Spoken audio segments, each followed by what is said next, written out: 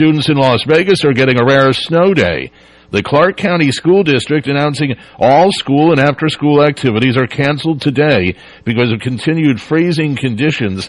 The National Weather Service said just under an inch of snow was recorded at McCarran Airport yesterday and as much as seven inches in parts of West Las Vegas fell.